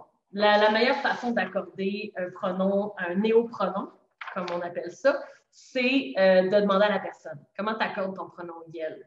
Il y a des gens, par exemple, qui vont choisir le féminin, ou il y a des personnes qui vont choisir le masculin, ou il y a des personnes qui vont demander d'alterner entre les deux, ou il y a des gens qui vont demander d'utiliser des néologismes. Donc, par exemple, moi, j'utilise le masculin. Par exemple, il est beau, il est gentil, il est extraordinaire, il est un pédagogue hors pair. On peut aussi alterner entre le masculin et le féminin. Donc là, à l'écrit, ça, ça marche aussi. Il est allé au magasin et il y avait tellement de monde qu'elle est devenue très impatiente. Mais à l'oral, aller, on ne sait pas s'il est au féminin ou au masculin. Donc, le fait qu'il y ait impatiente fait qu'on assume que c'est féminin. À ce moment-là aussi, on peut utiliser une graphie tronquée qui est, elle était très satisfaite du webinaire et était très enthousiasmée par le dynamisme de l'animateur, par exemple. Mais là, c'est ça, c'est bien beau à l'écrit, mais à l'oral. Des fois, à l'écrit, ça passe, mais à l'oral, ça casse. Encore une fois, il faut demander à la personne à qui on s'adresse qu'est-ce que cette personne-là préfère. Donc, euh, dans un texte inclusif, on peut accorder en utilisant une graphie tronquée. Euh, par exemple, on a ici c'est ce, est, docteur, re, est très doué. Mais ça, à l'oral, c'est un petit peu plus compliqué parce que peu importe comment on dit la phrase, euh, ça va être soit au masculin, soit au féminin. Docteur, c'est de la même manière au féminin ou au masculin. Donc, la personne qui entend aura une tendance à assumer euh, le masculin si on dit ce docteur est très doué. Mais si on dit cette docteur est très doué, là, on assume le féminin. Donc, comment est-ce qu'on fait pour euh, faire en sorte que ce soit inclusif sans assumer le genre de la personne, du docteur dans ce cas-ci, ou de la docteur? On peut y aller pour doctrice. Donc, par exemple, un peu comme on a changé, ben, on n'a pas changé, ça existait déjà, le mot autrice.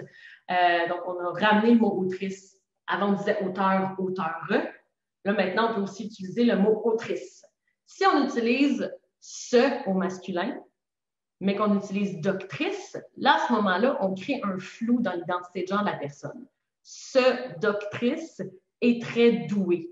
Comme doué à l'oral n'est pas genré et qu'on vient d'utiliser et le masculin et le féminin, c'est impossible de déterminer si doué est au féminin ou au masculin. Et donc là, on vient de créer un flou euh, quand ça vient au genre grammatical. Euh, donc, euh, on peut aussi changer docteur-doctrice pour un terme qui n'existe pas dans la grammaire prescriptive, mais quand même compréhensible et descriptif. Là, j'ai vu qu'il y avait des questions. Hum, hum, hum, je ne comprends pas la différence entre yel et yel. Ah, c'est la même chose, c'est juste que le i majuscule a l'air un peu d'un L. Donc, j'avais peur que ça, ça ait l'air de l'L. Fait que j'ai mis un, petit i quand j'ai mis la liste des pronoms. Été à la question de Christophe plus l'utilisation des points. Hum, des points barres obliques, parenthèses, tard, triste, etc. n'est pas juste une combinaison du masculin et du féminin, donc exclut les personnes non binaires. Ça peut, mais encore une fois, ça dépend. Il y a des gens qui ne se sentent, se sentent pas exclus dans cette façon-là de rédiger et aiment cette façon-là de, de, rédiger quand ça vient à leur identité de genre. Ça peut aussi être une façon d'exclure les personnes non binaires, c'est vrai. Euh, la, de tronquer la graphie. Je sais que les linguistes, c'est large, mais les linguistes que vous avez consultés. Euh, les linguistes que j'ai consultés me parlaient d'une graphie tronquée, mais c'était selon l'OQF.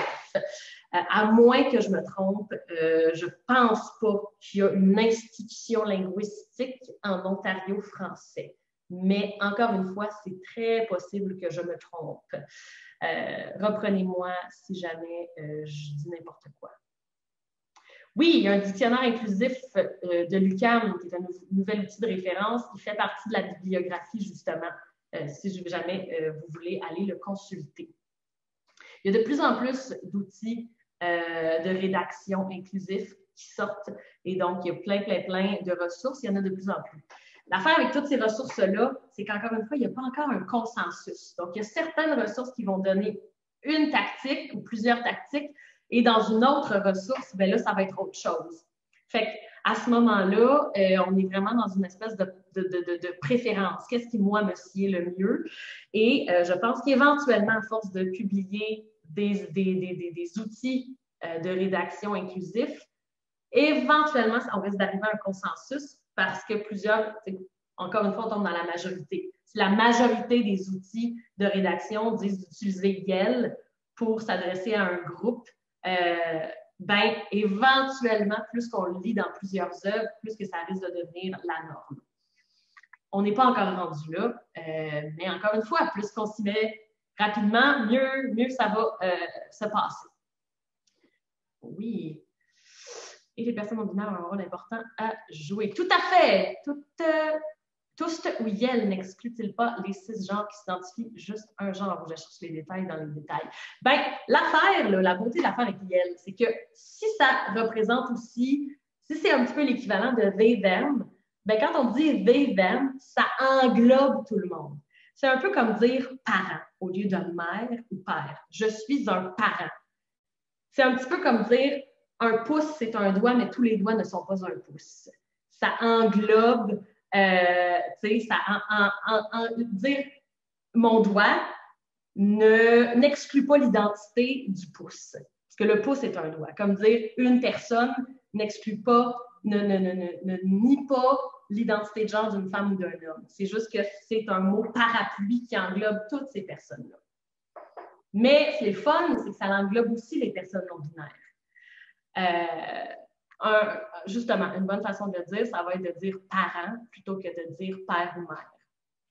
Mm-hmm. Ah, merci. Daniel, dans le chat, vient de nous mettre comment faire le point médian. Euh, c'est génial. Donc, si jamais il y en a qui veulent aller voir comment on s'y prend, euh, un, il y a des raccourcis sur le clavier pour le faire. Donc, après ça, on peut aussi. Il y a une question. Hmm. Euh, donc, pour les mots, euh, par exemple, qui finissent en R et IS, euh, moi, j'aime bien aller pour le AIRE.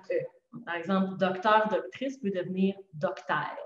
Spectateur, spectatrice peut devenir spectateur.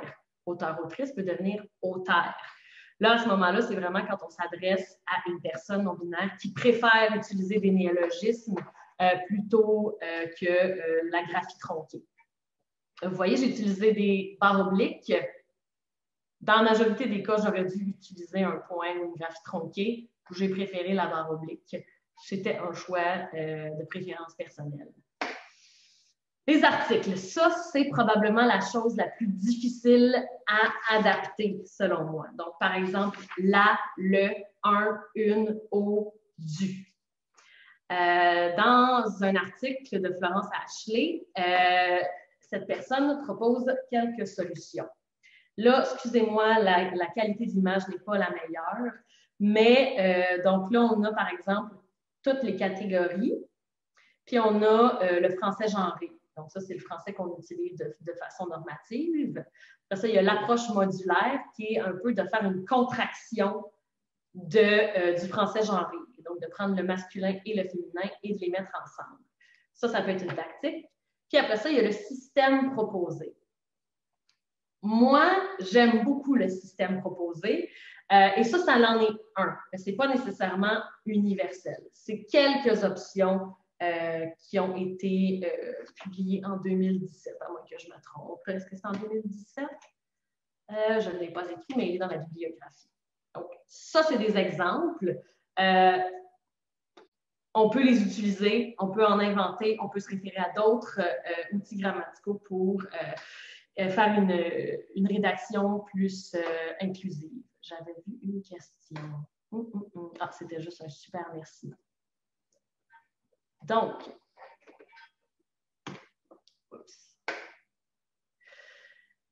Si, mettons, on a la directrice, le directeur, ben, on peut dire lu directeur. Ou encore tomber dans la, rédaction épicène et dire la direction. Un ou une spécialiste devient un spécialiste. Moi, j'ai une préférence personnelle à mettre des X partout. Je trouve ça dans le fun de dire ça, les X sonores. Donc, par exemple, au lieu de dire en spécialiste, parce que en peut aussi sonner comme en allant, en cherchant, en donnant, moi, je préfère dire UNCS. Donc, UNCS spécialiste. Pour vrai, là, vos micros sont fermés, mais dites-le, vous allez voir, c'est vraiment le fun. UNCS spécialiste, UNCS docteur, UNCS artiste. Moi, j'adore ça. C'est pas pour tout le monde, mais moi, j'aime ça. Ensuite, euh, on peut aussi faire des contractions. Un mot que j'aime beaucoup aussi, c'est roi et reine peut devenir roine.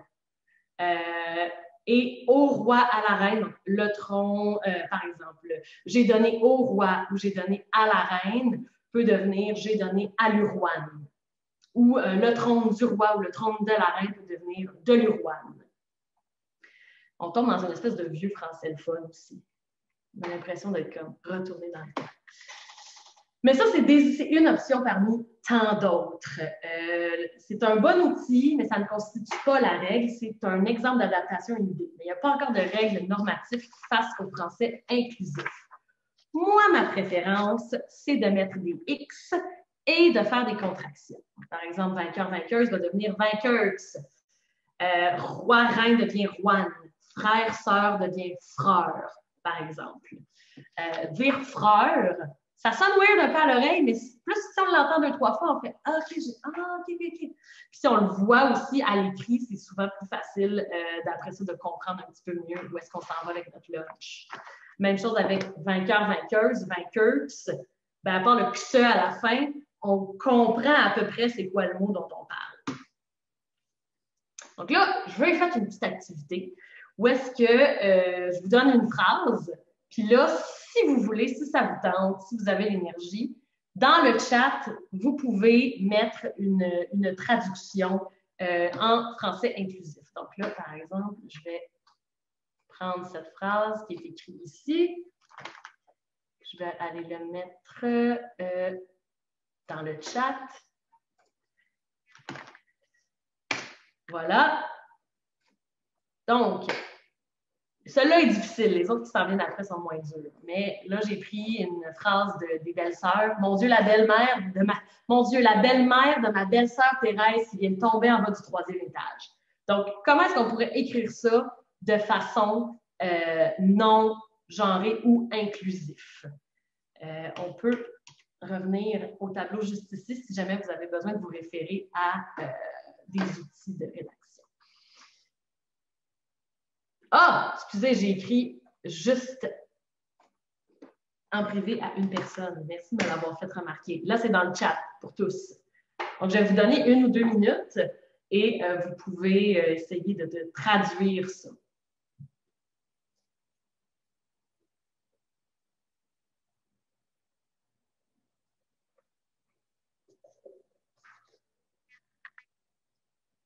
Euh, c'est vrai qu'au début, j'ai mentionné que l'idée, c'est de se comprendre.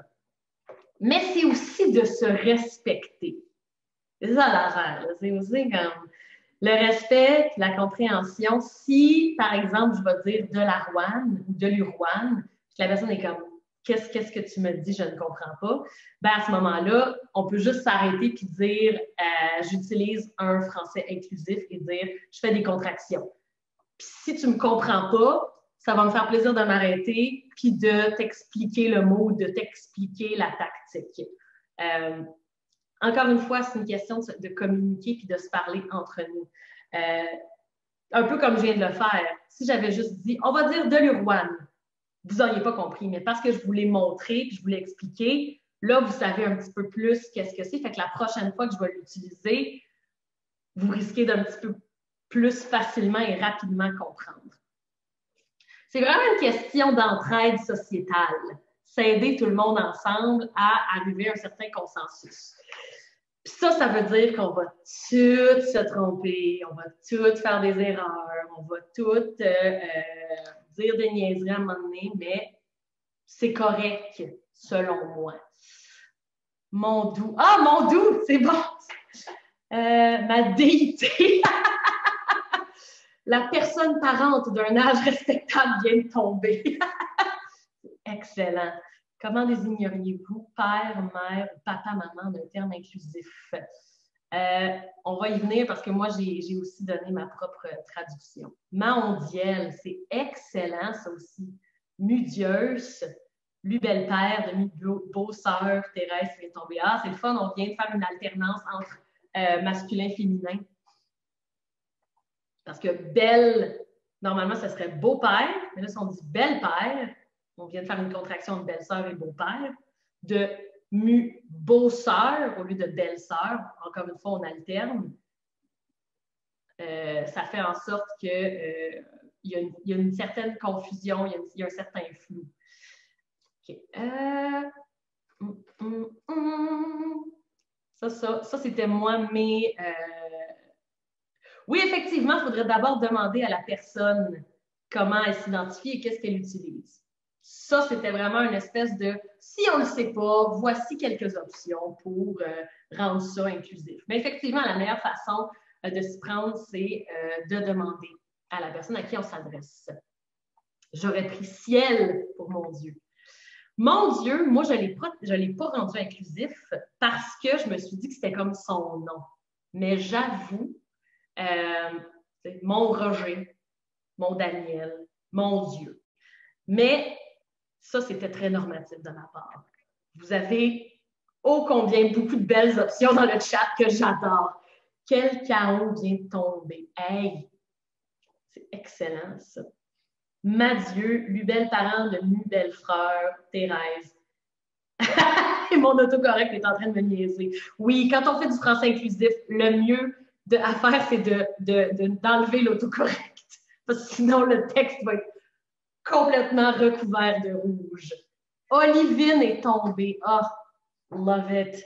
Que dirait Michel Tremblay, l'auteur? Ah, je ne sais pas. Il dirait, euh, il dirait que c'est une aberration, probablement. Mais il n'est pas là. Si vous ne me stoulez pas, il n'y a personne qui est blessé. Euh, OK. Donc, moi, vous voyez, j'avais dit Mon Dieu, la E belle parent de Mao belle frère, Thérèse, qui vient de tomber en bas du troisième étage. Mais aussi Mon Dieu, Lubol parent. Par exemple, beau et belle, si on les contracte, ça devient beau, bol. Mais là, ça sonne un peu comme un bol à salade. Mais Lubol parent de Mubol frère, Thérèse, qui vient de tomber en bas du troisième étage. Ça, c'était deux options que moi, j'avais euh, trouvées. Mais mon Dieu, vous avez ô combien de belles options dans le chat. Je suis un peu jalouse, comme mon Dieu, vous êtes meilleur que moi. On en a un autre ici qui vient euh, de Molière. Encore une fois, je ne sais pas ce que Molière dirait. Il est mort. Euh, cher Marquis, je te vois l'âme bien satisfaite. Toute chose t'égaye et rien ne t'inquiète. En bonne foi, crois-tu sans t'éblouir les yeux avoir de grands sujets de paraître joyeux? Donc, les deux mots qu'on a à adapter ici, c'est marquis, cher et joyeux. Parce que euh, l'âme, c'est euh, inanimé, c'est un concept, et tout le reste du texte n'est pas genré ou est invariable. Donc, dans le fond, un, marquis, pour ceux qui ne savent pas, c'est quelqu'un de la noblesse. Donc, marquis, marquise.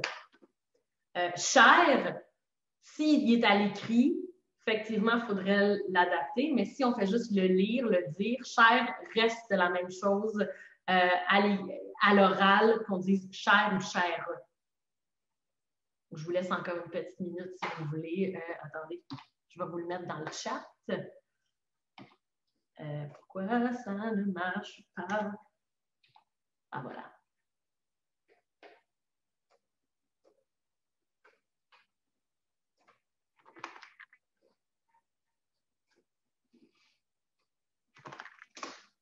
Oups.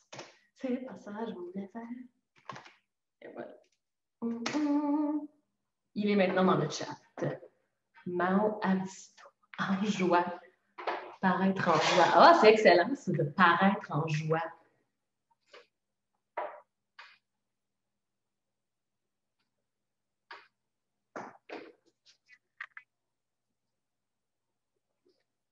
Hum, euh, là, on, commence à manquer de temps, fait que je vais aller tout de suite à la mienne. Moi, j'avais marqué cher Marquix et de paraître joyeux. C'est le fun à dire, c'est le fun en bouche. Sinon, on a aussi le chien de Jean-Marc Dalpé, encore une fois. Je ne sais pas si Jean-Marc serait d'accord, mais. On l'a enterré un matin dans le champ qui avait défriché. Il nous disait tout le temps Vous allez m'enterrer dans le champ que j'ai défriché en premier en arrivant ici. Donc là, ici, on a le I et le I ici aussi. Donc, souvent, quand on, parle en langage visuel, on va dire I pour il et A pour elle. Elle avait, elle a été, il m'a dit. C'est euh, du, du, un français plus euh, usuel. Comment est-ce qu'on traduirait ça? Moi, j'y étais pour qui, elle, avait défriché et elle nous disait tout le temps, vous allez m'enterrer dans le champ que j'ai défriché en premier en arrivant ici. Ce sont des options. Après ça, euh, j'ai dit, hier, il y a quelqu'un qui a dit dans le champ qui avait défriché, donc c'était Y-A, Ya. Ya avait défriché. Ya nous disait tout le temps. Mais à ce moment-là, il faut vraiment rendre ça, euh, oui, effectivement. Euh, vous allez m'enterrer dans le champ que j'ai défriché en premier. On l'a enterré. Ah, j'avoue, enterré, je ne l'ai pas, mis. Oups. Sorry. Euh, ya avait défriché. Parce que si on, le dit vite, qui avait défriché, euh, qui a avait défriché, qui avait défriché, ça sonne encore si c'était i. Mais si on dit dans le champ qui a avait défriché, si on met un espèce d'espace entre les deux, là, ça devient euh, un petit peu plus audible, mais on est un petit peu dans une espèce de euh, c'était-tu un Y ou c'était un YA? C'est une autre option. Donc, encore une fois, les options sont aussi nombreuses que votre imagination. Vous pouvez vous amuser. La meilleure façon de se prendre, c'est de demander à la personne à qui on parle. Mais si jamais vous vous dites, ouais, mais là, j'utilise tellement jamais ça, ce genre de langage-là, comment je m'y prends? Ben, euh, il y a plusieurs techniques. Donc, entre amis, au travail, à l'écrit. Une de mes amies, une fois, voulait pratiquer. Donc, ce qu'elle a fait, c'est qu'elle a adopté un chat. Puis elle a dit, bon, ce chat, je déclare ce chat non binaire et s'est mis à dire que le chat utilisait le pronom yel. Et donc, à chaque fois qu'elle parle à son chat, ben, elle se pratique à euh, utiliser un français inclusif. Puis c'est correct parce que le chat, il ne peut pas être blessé si on se trompe. Ce qui est donc une façon extraordinaire de se pratiquer. En le fond, le plus important, euh, c'est de respecter les personnes non binaires dans votre entourage, puis la façon dont elle, elle veut qu'on se réfère à elle. Donc, c'est ces personnes-là qui sont importantes, pas l'Académie, pas le QLF, pas Denise Bombardier. C'est toujours l'humanité de la personne qui passe avant un système qui, de toute façon, se base sur une forme de discrimination. Quand on étudie la langue française, la langue française est intrinsèquement sexiste qui fait que qu'est-ce qu'on veut respecter en premier? Est-ce qu'on veut respecter l'humanité de la personne à qui on parle ou est-ce qu'on veut respecter une institution qui se base sur un historique sexiste? Entre autres, parce que l'Académie française a plusieurs problèmes. Hum, hum, hum, oui, effectivement, chat pourrait être, au lieu d'être chat avec une greffe tronquée, pourrait être juste chat, C-H-A. Annie, AMS. Ouh! AMS pour amis. J'aime ça, AMS. Hey, les AMS. Ah, ça sonne un peu comme abs, mais c'est correct, AMS, si on le prononce comme il faut. Donc, voilà des questions. C'est là où vous pouvez poser les questions. Euh, peut-être lever la main. Il y a une option euh, lever la main. Euh, attendez. Donc, je suis revenue. Là, il n'y a pas de main levée. Est-ce qu'il y a des questions? Il n'y a pas de questions, mon Dieu. Si jamais vous avez des questions que vous n'osez pas poser en ce moment, n'hésitez pas à communiquer avec l'ACFO.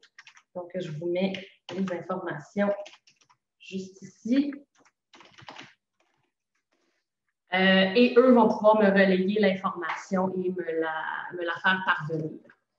Et euh, n'hésitez pas que ce soit une, que ce soit une question plus d'ordre personnel ou que ce soit une question plus d'ordre théorique, euh, vous pouvez communiquer avec moi sans problème. Voilà, s'il n'y a pas plus de questions, euh, eh bien, je vous souhaite une excellente journée, un bon restant de fin de semaine.